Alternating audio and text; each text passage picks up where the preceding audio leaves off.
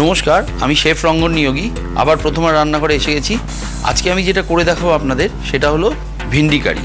তো গোয়ান ভিন্ডি কারি করতে যা যা লাগে, ভিন্ডি, এরকম ডুমো করে কাটা, কাঁচা লঙ্কা কুচি, ভিনেগার, নুন, রসুন কুচি, টমেটো কিউব করে কাটা, লেবুর রস আর চিনি। তো শুরু করা যাক, আর তেল লাগবে সাদা তেল। প্রথমে আমি অল্প একটু সাদা তেল দিয়ে দেবো।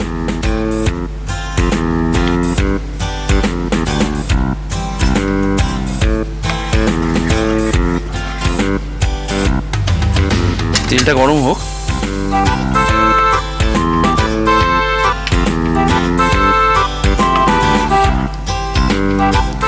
তেলটা গরম হলে ফার্স্টে আমি রসুন কুচি এতে দিয়ে দেবো।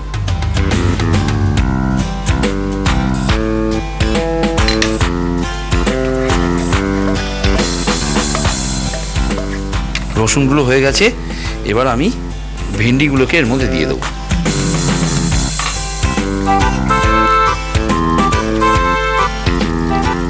ভেন্ডিগুলোকে সাঁতলাতে হবে। এবার টমেটো দিয়ে দেবো।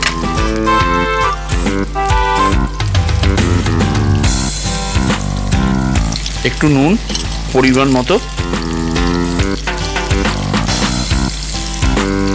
চিনি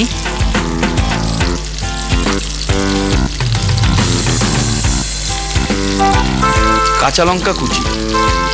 খানিকটা কাঁচা লঙ্কা রেখে দিলাম উপরে গার্নিশ করার জন্য।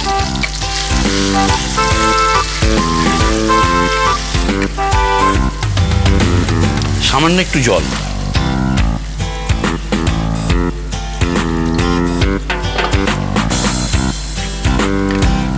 জল দিয়ে এবার এটা ঢাকা দিয়ে দেবো। দেখে নেওয়া যাক কি অবস্থা রয়েছে।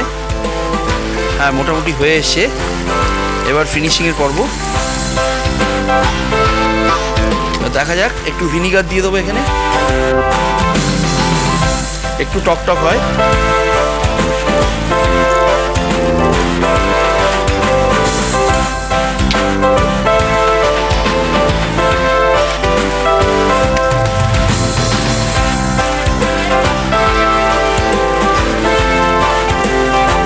একটু শুকিয়ে যাবে। মানে গ্রেভির কনসিস্টেন্সি আরেকটু মোটা হবে।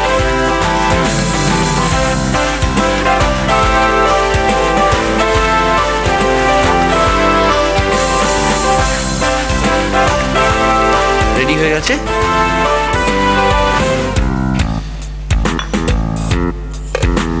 সার্ভিস বোলের মধ্যে এটাকে ঢেলে দিলাম।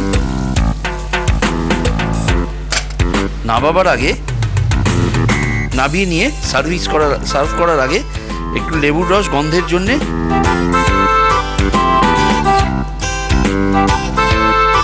আর একটু কাঁচা লঙ্কা, লেবু আর কাঁচা লঙ্কা মিলিয়ে খুব সুন্দর একটা ফ্লেভার এসে যাবে। আমাদের গোয়ান ওকরা কারি বা গোয়ান ভিন্ডি কারি রেডি।